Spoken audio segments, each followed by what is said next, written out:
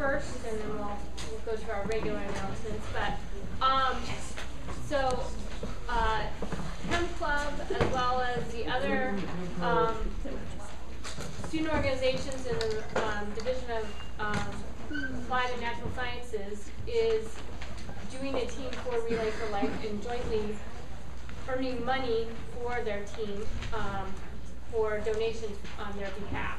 And so what they're doing is paying professors if you donate enough money. So I am one of them. So if you want to see me pied, you have to accumulate $100 in the jar um, that's in, by the chemistry office. Um, and so if you accumulate 100 bucks, then you'll get to see me on October 24th after seminar. Get to see me pied as well as all of these other wonderful people, including the president of the college. And he did get pied, I think, once last year, maybe twice. So, so if you, the first pie, I believe, well, the first pie is 100 bucks, and after that, I believe it's like 10 bucks more for second one. So it's not that much more for the second one. So if you want to see them pied multiple times, you can raise even more money um, and donate even more money to have it happen. Okay? So, um, whoops. Lost. So here's some pictures from last year's event. So we do get like thoroughly covered when it happens. So anyway, donate for a worthy cause. Okay.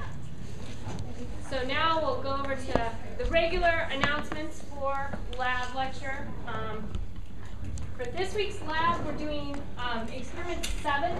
Kind of that so experiment seven is a two-part or two-week lab. Okay, so we're going to do part one, the first reaction of that experiment. But the pre-lab for the experiment you need to have completed before you come to lab. So the entire pre-lab for all three steps of the experiment have completed before you come to lab this week. Okay, and we'll talk a little bit more about that as we go along today. You have a quiz this week. Um, as always, bring calculators, be prepared over um, this week.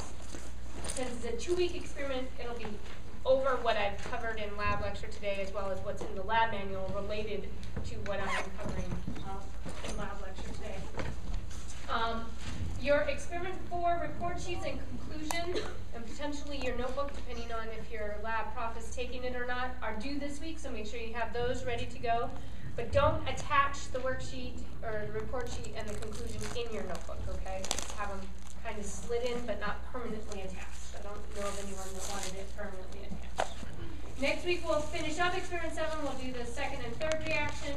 Also, experiment three, so that was your first report to write on your own without any guide or Erlenmeyer examples or anything like that. So we um, hope that you learned some things from our comments and now are giving you a chance to earn some more points for experiment three by rewriting that conclusion. Okay, so it's not the entire report, but the conclusion, um, rewriting it and incorporating the comments that your uh, lab prof gave you as well as on your own trying to improve it. Um, that's worth 25 points, and the rewrite is due next week. Okay, so make sure you have that next week. Um, so make sure in lab this week you fully understand the comments that were in your notebook so you are prepared to rewrite the conclusion.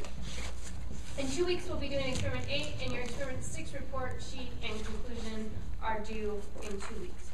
Um, I'm going to start announcing this because it takes a little bit of uh, maneuvering for some students sometimes. Um, if you are attending the Global Health Missions Conference, which is usually around the first week or so of November, um, it's usually students are gone Thursday, Friday, and then into the um, weekend. If you are in a Thursday lab and planning on attending that conference, you need to see me because we need to make sure that you are able to attend a Tuesday lab that week to be able to make up the lab that you would be missing. Okay, so if you're in a Thursday lab section, attending the Global Health Missions Conference, see me right after lab lecture today. Okay. My and became a little bit more like a D here. Um, so I'm going to talk a little bit about um, overview of experiment seven and then we'll talk in general about polymers because this experiment in the end you're going to be generating polystyrene. So um, we'll talk about polymers themselves and then more specifics about what you're going to do in lab this week. So experiment seven, there's three reactions involved. And we're starting this week with ethylbenzene.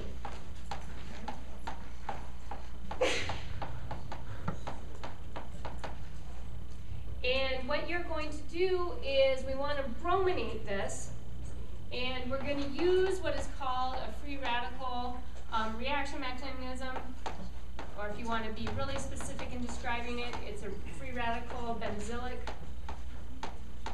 bromination, because we're going to brominate at the benzylic position.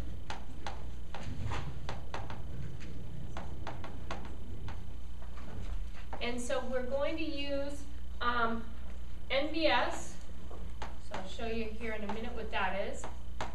Benzoyl peroxide.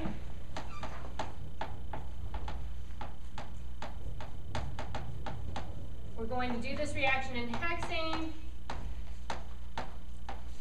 Um, and we're going to add some heat. We're going to do it at reflux, and this is our step one reaction, okay? And so um, first of all, stands for N-bromosuccinimide.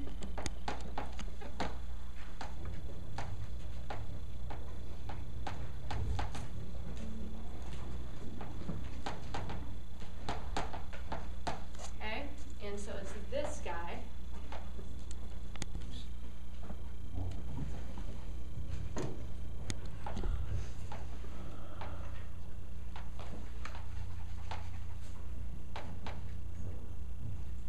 Carbonyl here. So the part comes from this bond here with the nitrogen to carbons with carbonyls. And the N bromo, is, the bromo is attached to the nitrogen. So um, in the course of the reaction, what you get is it'll get rid of its bromine and what you will form, so we'll walk through how that happens here in a little bit, but what you form is succinimide. So without the bromine, then we just have six succinimide. Um, now our benzoyl peroxide is this guy. We'll talk about here in a little bit why he's important.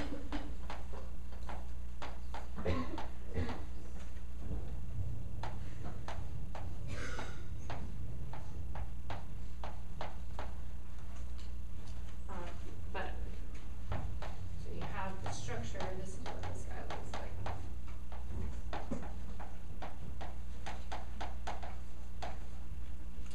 So what we do is we're gonna brominate in the benzylic position, we're gonna form bromoethylbenzene. And so that is what you are going to be forming this week.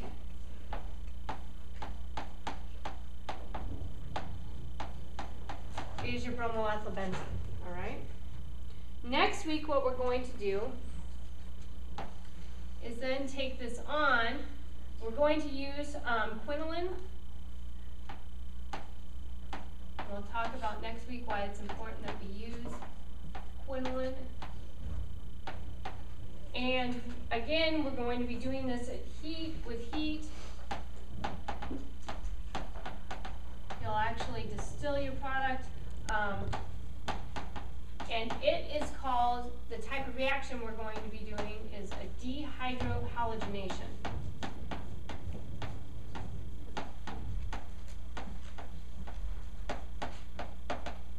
And so then what we will form is our styrene.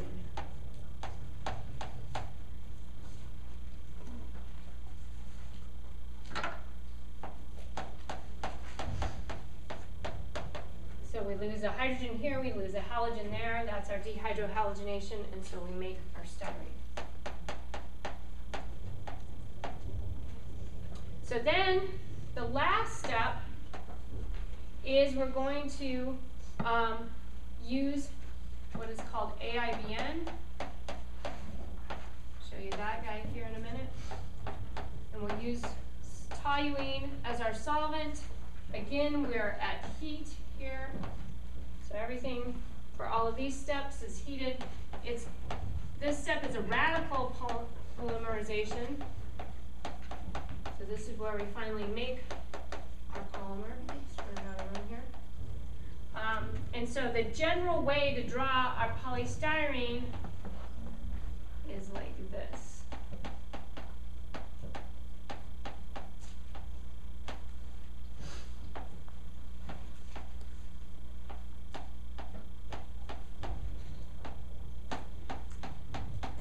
in part comes from our AIBN. So this is, is the polystyrene that will form in the last step. Okay? And so our AIBN, let's see if I can get him to fit in here, is this guy. Lots of energy in the bonds here.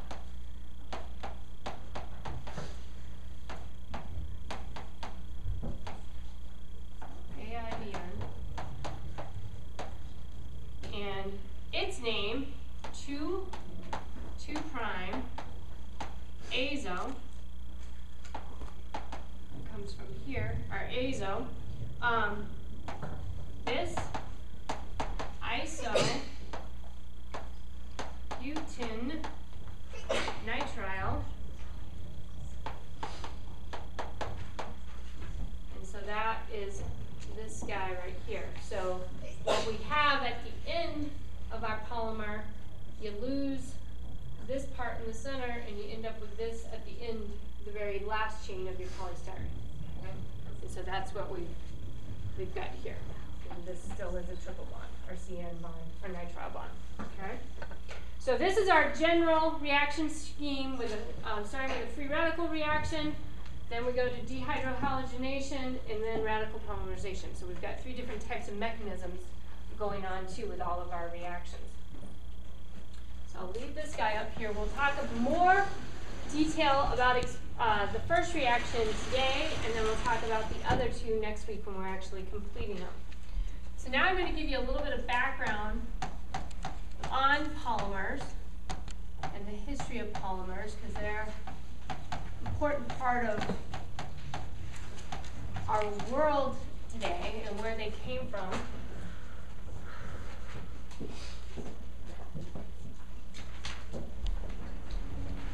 So polymers are really huge molecules where you link smaller molecules together. So we'd start with our small molecule is our monomer, our, our one unit, so one, one piece of our polymer. If we wanted to put two of them together, then we'd have a dimer. Three of them together, we'd have a trimer. And then if we want a bunch of them together, so these are all examples for styrene, which is what we're going to make, and then going down to polystyrene. Um, then we have many, many repeat units. And when we're looking at polymers, typically their molecular weights are really, really large, into thousands to hundred thousands grams per mole for molecular weight. So really large, large numbers.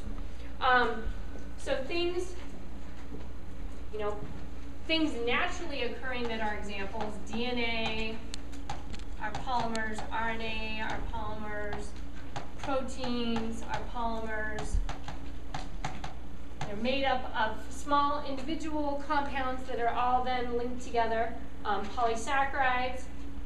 And so it's the um, small organic compounds, so like when we're talking about just starting with our styrene,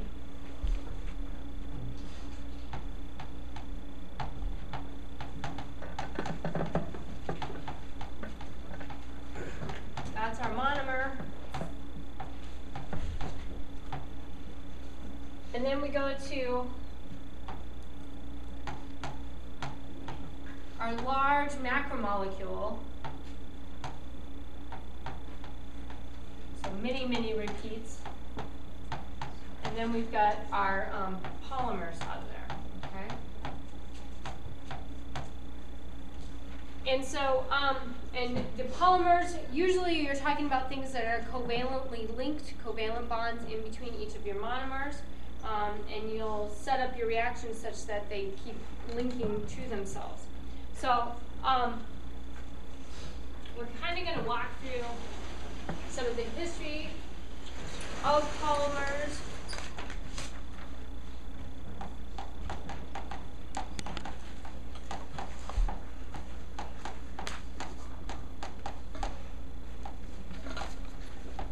So first of all, um, what people started with is what they could find in nature. So like with a lot of things in chemistry, they started with the naturally occurring polymers first.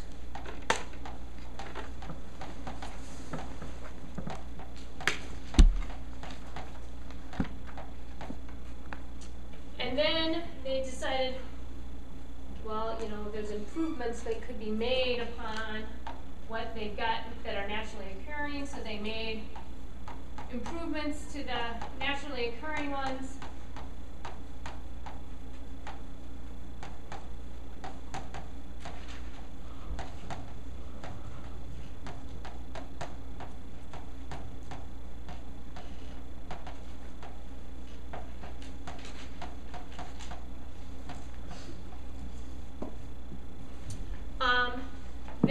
They worked on synthesizing the natural polymers, so they didn't just have to worry about what they could find in nature.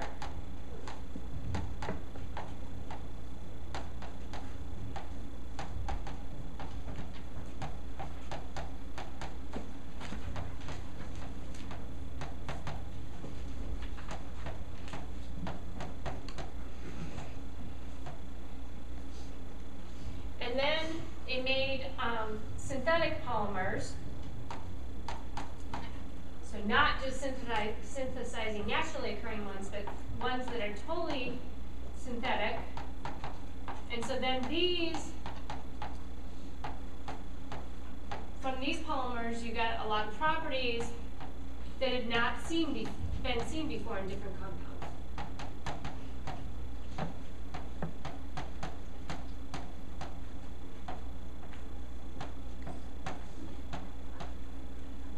now we've got, you know, we've got a whole room of polymers around us, our tabletops, our, our floors, our carpet, everything around us. A lot of our clothing is of some synthetic fiber that is a polymer. Um, all the things around us, the paint, um, the uh, trim on against the wall, these mats up here all have polymers in them, and they're some sort of polymer material. Um, so what was a really big part of the history of polymers, so we kind of just went through here, um, and the biggest thing is that the synthetic polymers have become quite popular in many different, for many different reasons and applications, is um, December 7th, 1941 was a huge day in history and a huge day for polymers themselves. So what happened December 7th, 1941? Pearl Harbor Day, so what, what did that mark? As far as the U.S. was concerned, it started their involvement in World War II, right? I mean, World War II had already begun, but for us in the U.S., then we became a part of it once we were attacked. Well, um, as so President Roosevelt was the president at the time in charge you know, of the entire nation, trying to figure out how we're going to now all of a sudden fight this war that all of a sudden we're involved in. And so he put together a committee that was assessing what they needed, what um, was going to be important to winning this war. And so one, one of the big things that they came up with was of all the critical and strategic materials, rubber is one which pre presents the greatest threat to the safety of our nation and the success of the Allied cause. Production of steel, copper, aluminum, Alloys or aviation gasoline may be inadequate to prosecute the war as rapidly and effectively as we could wish, but at the worst, we are still assured of sufficient supplies of these items to operate our armed forces on a very powerful scale.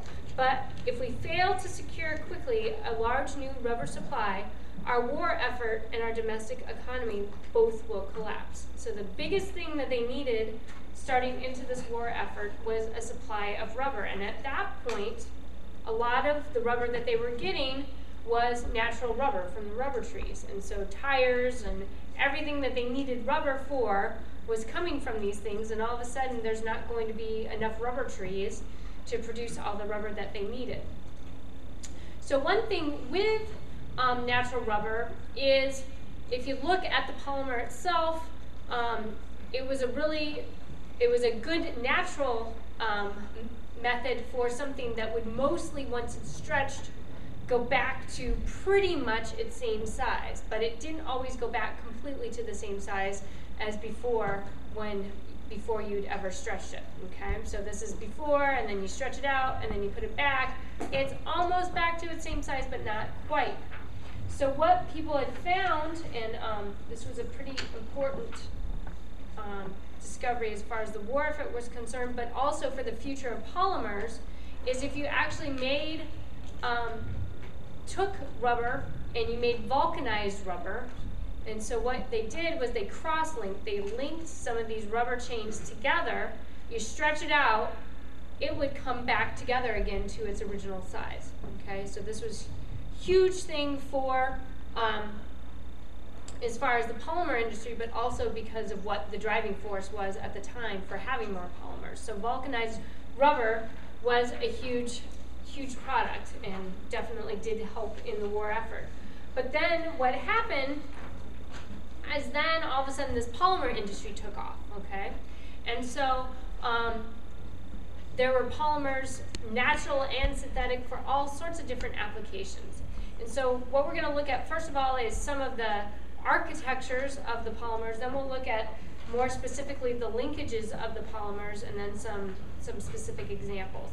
So there's um, different types of molecular architecture, meaning different ways the polymers can be put together in the big picture sense of things. So we could have just a linear polymer. We could have a linear polymer that then has other polymers hanging off, so that'd be called a branched polymer. We could have a star polymer, so we have a common center that all the polymer chains start branching off of. Um, we could have a cross-linked network, so something similar to what they were using for um, the vulcanized rubber, um, but works well with other types of polymers as well, so having this cross-linked network, because cross-linking it gives it more strength than, it, than the polymer had before it was cross-linked. And then you've got something like this huge huge guy here, which is common um, naturally occurring systems, but also they've made, there's synthetic systems that use this idea, where you have this common core, and then you have these branches, primary branches off the common core, and then you've got more branches coming off the branches, so then you've got this whole kind of web of polymer in a dendritic network. Okay? So these are all examples of different architectures of polymers. And then when we're looking at the individual chains themselves, you can put polymers together in many different ways. Um, you could use just one monomer all the way through, or you can use different monomers to help give that polymer different types of qualities to put two things um, that are good together as a polymer together instead of having them individually. So one way you could put them, put them together is just randomly have these linkages. You could also have blocks of different monomers. So you could have one type of monomer for a block in the polymer, then have another type of monomer, then go back to the original type of monomer, back and forth. Or you can actually alternate just individually each monomer what it is. Okay? And so some examples of these networks and then um, the different copolymers is um, something like saran wrap of, or food wrapping, it's a copolymer of ethylene and then acrylic acid. And you, it, you use a certain amount, percentage amount of the acrylic acid to the ethylene. So you don't want a one-to-one -one ratio. You want 15 to 20% acrylic acid. The rest of it you want um, to be the ethylene. So the ethylene is a really strong linkage as a polymer. It makes a really strong polymer. And then this acrylic acid, because of all these acid um, parts of the molecule hanging off, they make the sticky part. They are what adheres to the silica of the glass. Okay? And so you don't want it too sticky, so that's why you limit how much you put in there, only the 15 to 20 percent versus the strength you need from the ethylene. Another example copolymers is, may have seen this um, as a demo in like Gen Chem or another class of making nylon, um, taking adipoyl chloride and 1,6 um, hexane diamine, and you just alternate. This is an alternating polymer where you've got um, one right after the other, um, molecules back and forth. So this like this is the kind of the monomer of one of each of these put together, and then you just keep linking sets of those back and forth for to make the actual nylon. Which there's tons of different things now um, that have some sort of nylon polymer in them. So in looking at um, the polymer we're going to make, first of all, styrene, the monomer styrene, it just has a molecular weight of 104.15. When we look at polystyrene, it can be somewhere between 500 grams per mole to up to 400,000 grams per mole, depending on how many styrene units you put together. Okay? Um, and, and how it is made. Now, what we're not going to do anything to control chain length or the size of your polymer.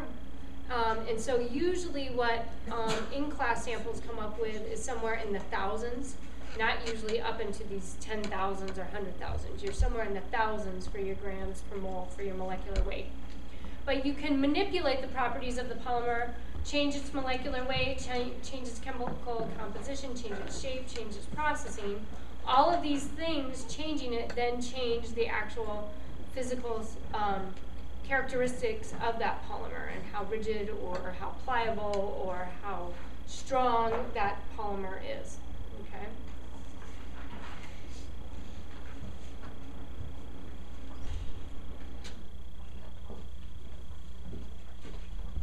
So we're going to look at um, the actual synthesis that you're going to be doing this week.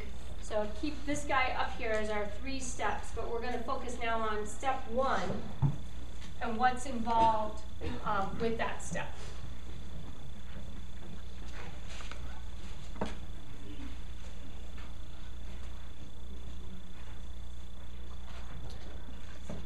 So that first reaction of taking the ethylbenzene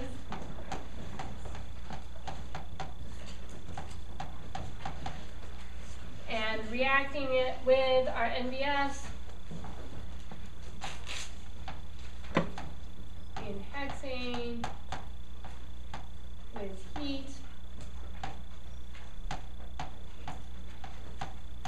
Then we'll get our bromoethylbenzene.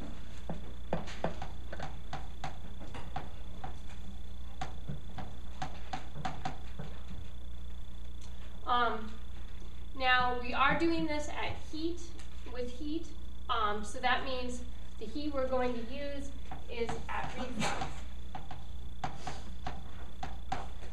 One thing you have to be careful of is because we're also going to have our benzoyl peroxide in there, we'll talk about here in a minute why that's in there. Um, once this reaction gets going, it actually generates heat on its own, okay? So you're going to get this reaction going at reflux, um, and it needs to reflux for an hour. But don't just set it up, get it refluxing, walk away from it. Keep an eye on it, because it actually will exotherm on you and really all of a sudden start vigorously refluxing. And so you're going to need to turn down the ohmite a little bit once it starts vigorously refluxing. But you don't want to turn it down so much that you stop the reflux too, because then you've got to get it refluxing again and add more time to the actual reflux time, okay? So really keep an eye on it, okay?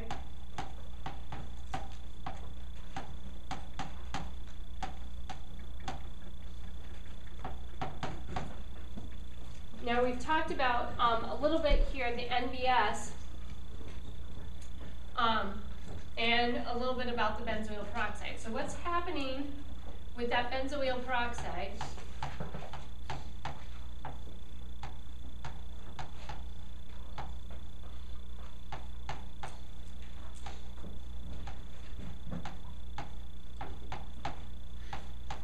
is this bond right here is actually kind of okay? And heat or light can break the bond. And so we're doing this reaction in light. Um, and at reflux, so we're giving, a, giving the reaction and giving this guy the heat it needs too. And so what you get when the benzoyl peroxide bond breaks is you actually form a radical right there in the solution. And so you get these benzoyl peroxide radicals from heating it or in the presence of light. And so that's going to become important here when we actually talk about the sequence of events involved in this radical reaction. But that's an initial source of radicals. That's why we're using the benzoyl peroxide. Um, the NBS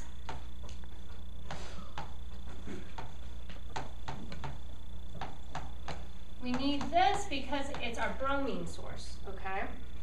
Now we could just put bromine, liquid bromine in the reaction, but we don't want that. We don't want the bromine all present at once and all of the bromine that we're going to use all present at once. And so um, we're going to use the um, NBS with a little bit of HBr, and you'll form the succinimide that I talked about, and your Br2, okay? So we get, in the end, what we would have gotten by just putting liquid bromine in the reaction, but we want a slow, steady supply of bromine. We don't want all the bromine present all at once, okay? So that's why we use, use the NBS. Um, now this guy tends to throw people off, our succinimide, because this is a nice white, off-white solid, okay? So it looks like that should really be your product because it looks great, okay? And we're going to use gravity filtration to remove this from, from your reaction mixture at the end of the reaction. The problem with that is it's a byproduct. It is not the product that you want, okay? So the solid is not what you're keeping. What you're keeping is in the liquid, okay? The ethyl, the bromoethylbenzene is a liquid just like the ethylbenzene. So what you want to hang on to is the liquid that you are in your filtrate, okay? So this guy, the succinimide, once you've filtered, he's going to go in the organic waste, rinse it down with some acetone. Um, then the filtrate is what you're going to hang on to, and you're going to use simple distillation to remove the hexane, and then you're going to store that liquid. That liquid that's left after simple distillation is your product. Okay, so don't don't ever throw him out. Okay. Um, now, just like you talked about and have been talking about in lecture and talked about in Gen Chem, because this is a radical reaction, there's going to be the three different parts to a radical chain that you usually have. So what is what's the first part of a radical chain reaction? Initiation. Initiation, okay?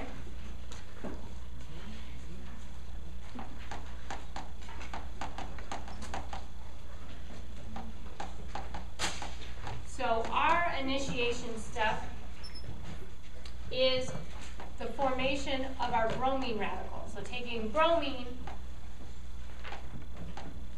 in either heat or light, we're going to have both, making our bromine radical. Okay? And we'll get uh, two of those out for each bromine that we've got. Okay? Um, actually, kind of, eventually, you'll, how, uh, stoichiometry will take care of both bromines, but for right, right now we'll show just the one bromine radical. Um, then what's the second part of radical chain reaction? Propagation. Propagation.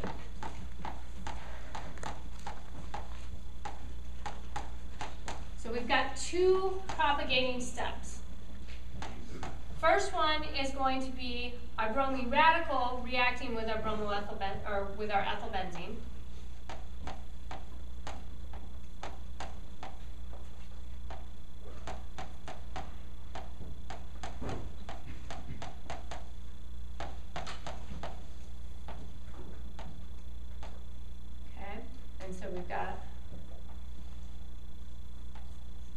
reaction as well as then we've got a radical that's going to end up on this benzoic carbon, okay? Um, and then what else is formed from this is our HBr, which is what we need to use with the six, bromosuccinimide to get the succinimide and get our bromine out, okay? Um, the second part of our propagation reaction is then the actual bromination here. And so we've got our radical, and then it reacts with bromine, Br2, and we get the reaction here of the bromine with that radical, but we also lose a bromine radical. And so then we get the product that we want out of this step. The bromoethylbenzene, but then we also get our Br radical. Okay? Um, and then what's last part of radical chain? Termination. And in our case, our termination is any two radicals combined.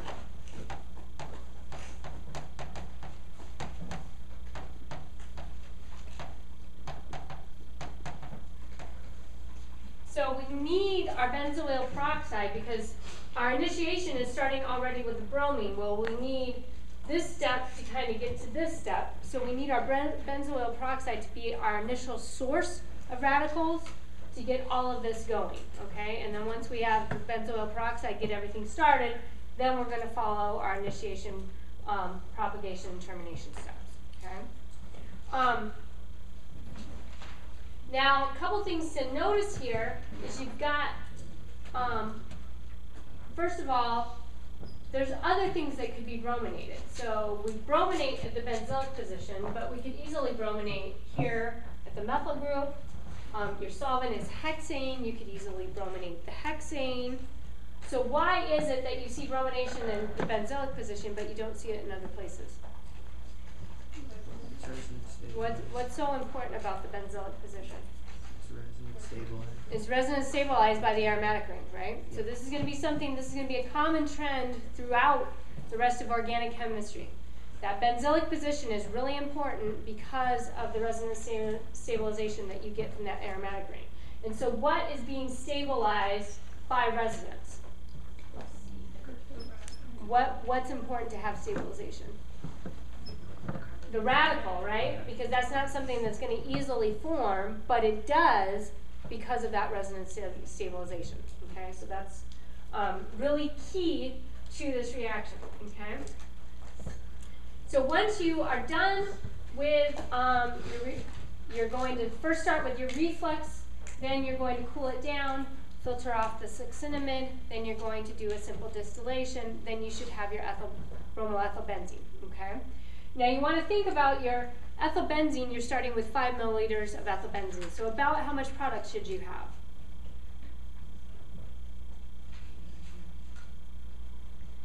You're just adding a bromine to it.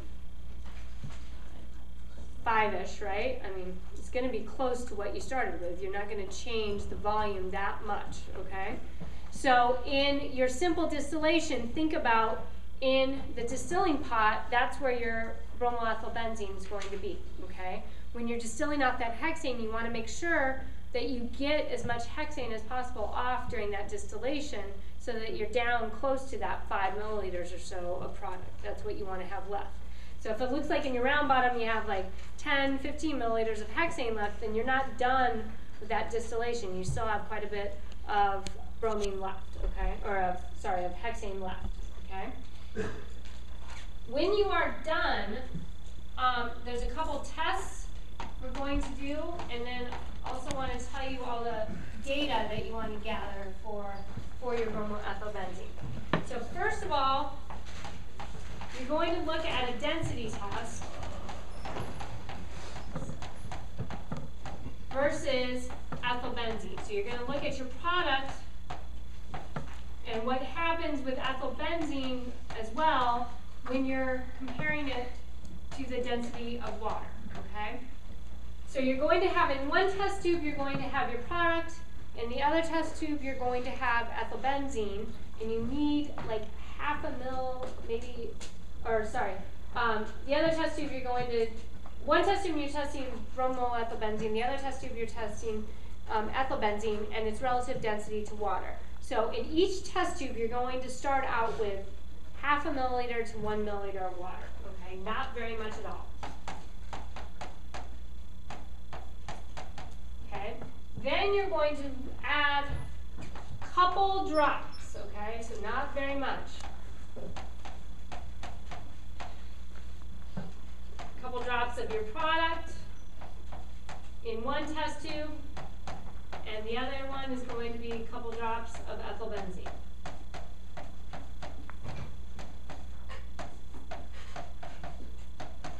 And what you want to see is what is that relative density to water. So what should happen with ethylbenzene? Just based on basic knowledge you have of other similar organic compounds, relative to water, what should ethylbenzene do? it should float, right? It should be less dense than, than water, okay? Like in experiment one where the hexane was less dense than water, okay? Um, with your product, so when you halogenate things, what usually happens to its density? It usually increases, right? So what should happen with your product? You should see it relative to water, what should it do? It should sink, right, relative to the water, okay?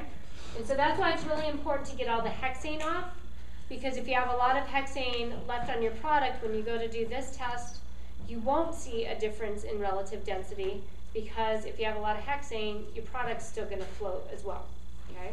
So ethylbenzene should be above, less dense than the water, bromoethylbenzene should be more dense than the water. The other test that you're going to do is silver nitrate test.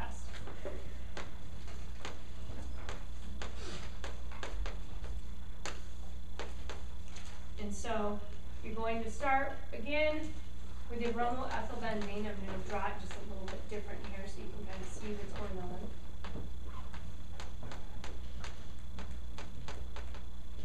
So we've got regular old silver nitrate, like from experiment experiments you've used in the past in um, Gen Chem. So definite salt here. And what happens is you will actually form a cation with the silver nitrate. So you'll form this cation plus the silver bromide solid. Um, and this will precipitate out. And it's usually a white, to yellow-white solid.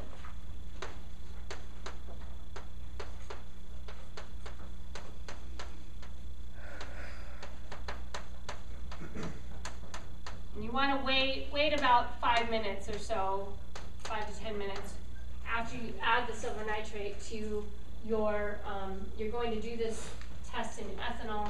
So you'll have your bromoethylbenzene in ethanol and add silver nitrate to it. Then wait about five minutes or a little few, little bit longer, see what happens. But you should see this um, white to yellow white precipitate crash out of your solution.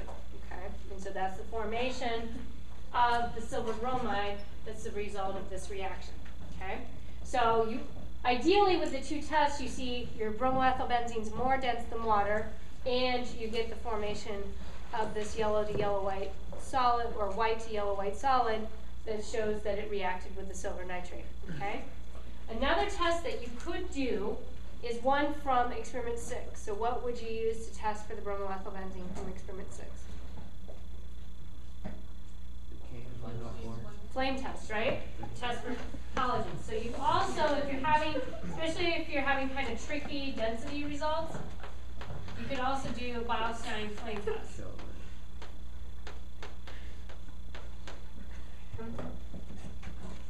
So the two tests you want to do are the density test and silver nitrate test. But if you have iffy results from either one, then you could go on and use the Beilstein flame test to help you with testing to verify that you've got the right product before you go on to the next step. And same with styrene, we're going to talk about next week how we verify what we've got before we go on to the next step. Okay. Um, now for the write-up that you're going to do, I've already talked about um, we need our pre-lab um, all done for the entire experiment. Okay. Um, something that you need to consider in that pre-lab is we're going to need to figure out three different yields. Okay, you've got three different reactions, three different yields. For this particular reaction, first of all, for the yield of step one, you want to make sure that you get a mass and you want a volume of your step one product.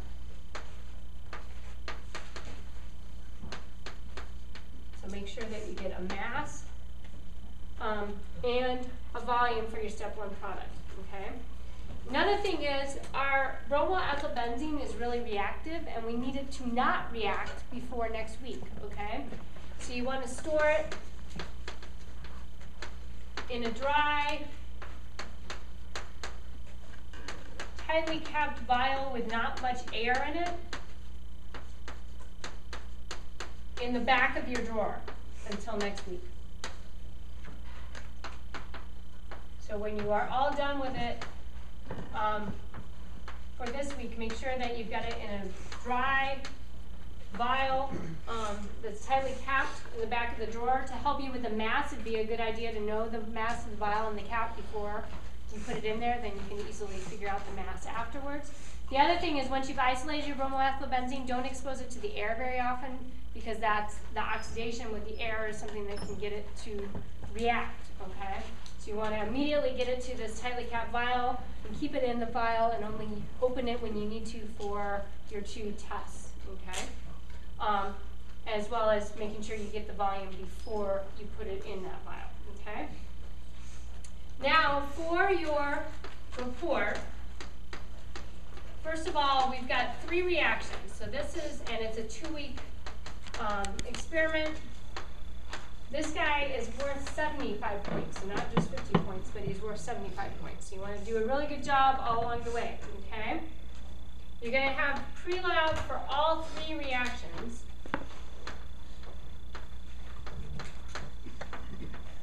before you come to lab, okay?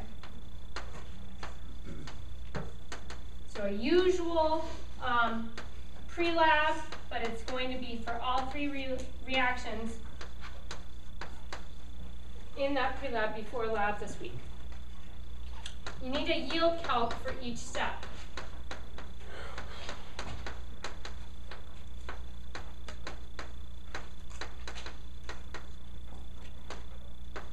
Steps one and two, that'll be the same as what you've done before. You're going to have theoretical yield,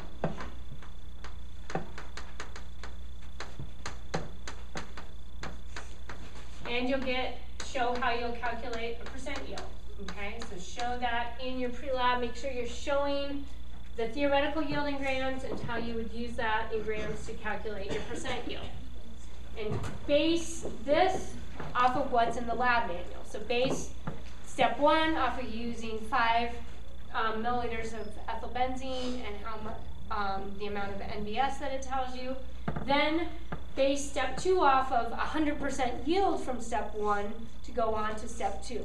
Okay. Step three,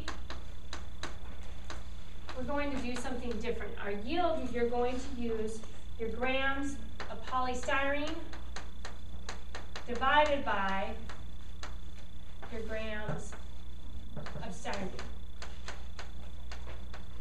So we're going to look at a mass recovery or a percent recovery. We're not looking at a true theoretical yield and percent yield. Okay?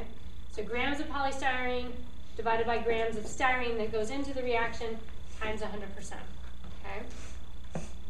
It's really important that you get this information because part of this information you're going to need for figuring out your grams of styrene. Okay? So next week, when you form the styrene, you form it with a distillation. What you're probably going to still off, first of all, is a little bit of hexane. So you need to know your volume that you're starting with so that you know how much hexane you lose in that distillation so you can go back and recalculate how much bromoethylbenzene was used to then form your styrene. Okay? So that's where this part comes into play. Okay? Um, so now what I want to show you is I've given you, this is a little bit of basically the physical data table. So I filled out part of that for you for your pre-lab to help you out a little bit, okay?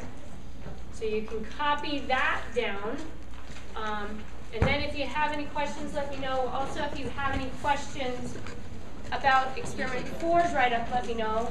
And if anyone here is seeing, is going to attend the Medical Health Missions Conference and in the Thursday lab, make sure you see me before you leave.